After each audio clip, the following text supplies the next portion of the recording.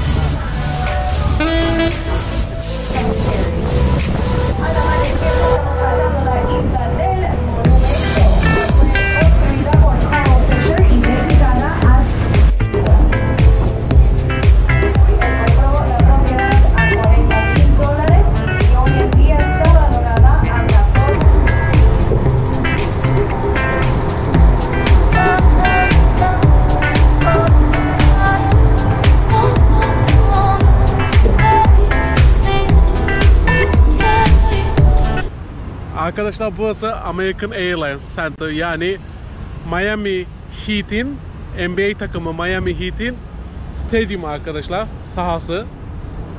Burada hatırlıyorsunuz 2014'lü yıllarda LeBron James, Chris Bosh, Dwayne Wade Miami Heat'te oynuyordu arkadaşlar. Yani tarihin gel- gelmiş geçmiş en iyi NBA takımlarından, en başarılı NBA takımlarından bir tanesi.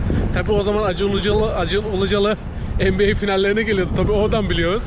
Ama dediğim gibi arkadaşlar burası NBA'in en popüler takımlarından bir tanesi olan Miami Heat'in sahası arkadaşlar. Etrafı size göstereceğim.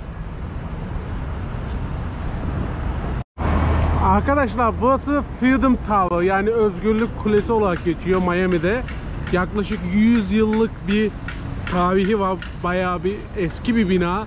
Bu bina hani Küba ile Amerika ilişkilerinin yani geçmişine dayanıyor yani 100 senelik 1910'lar 1920'lere dayanıyor. Binada görebilirsiniz şu an bir tane Küba bayrağı var, bir tane de Amerika bayrağı var.